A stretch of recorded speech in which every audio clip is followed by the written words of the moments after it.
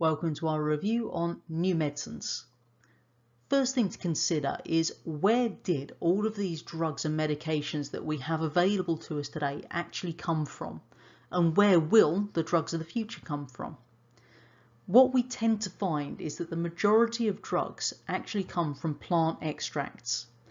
These days we're also capable of just creating drugs in the lab based on creating certain chemical structures. Now the way that we actually do this is we can use computer models to develop these possible drugs. So the computer software produces a list of compounds that may target a certain condition. Once we've identified a potential drug using that computer modeling software, then we'll actually carry out tests in the lab to see how it behaves. And these are called preclinical tests. So they will include three different stages. We've got the live cells, we've got bacteria, and we've got tissue culture tests.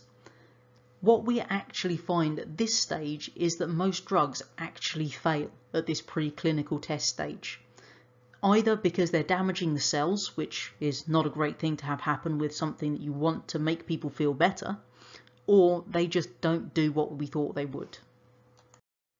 When we find a drug that passes the preclinical trial, then it moves on to the next stages in testing.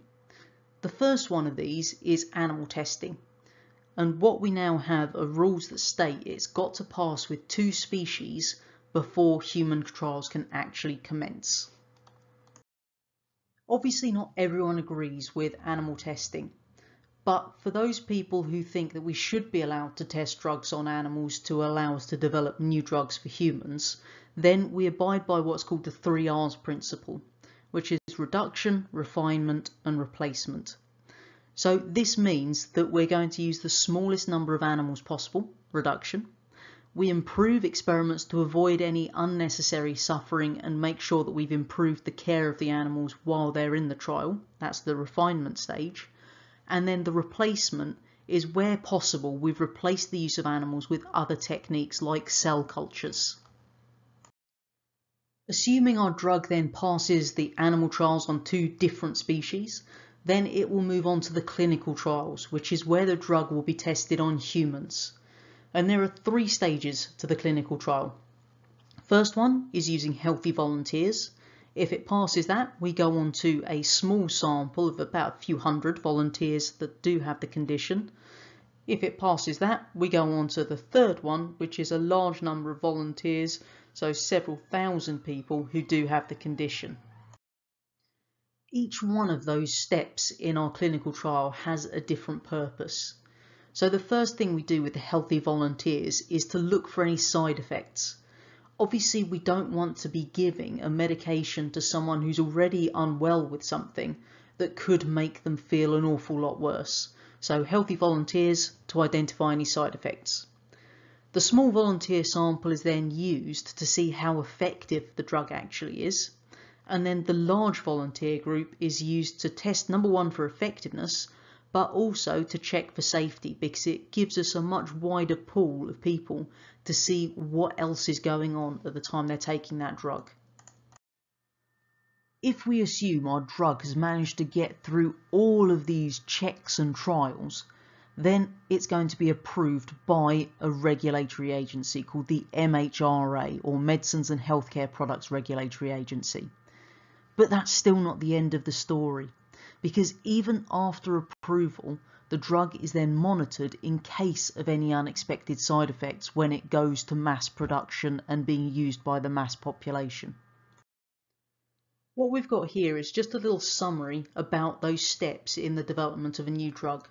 So we start off with the computer models and the human cells grown in the lab, but remember that's the stage that many drugs fail because they will damage the cells or they don't seem to work as intended. If it does pass that, goes on to the animal testing phase, just to check for any side effects there. If it passes the animal testing phase, we go on to the healthy human volunteers to make sure that there are no untoward side effects. Then we go on to the small number of volunteer patients to check it actually works, and then to the large number of volunteer patients to check the effectiveness, safety, side effects, and work out any fine details on the dosage. Only after all of that will the drug be approved and then be able to be prescribed by doctors. There is a term that we need to know the meaning of, which is the placebo effect. So when we refer to the placebo effect, what we're talking about is the fact that people can start to feel better because they expect to feel better, even though they're not receiving any kind of proper medication. So what we find is that in order to overcome the placebo effect, we use something called a double-blind trial. So in a double-blind trial, some patients get the actual drug that we're testing, while others get an exact replica, so it will look identical, there's no way to tell them apart, except it doesn't contain any active ingredients. So that's the placebo.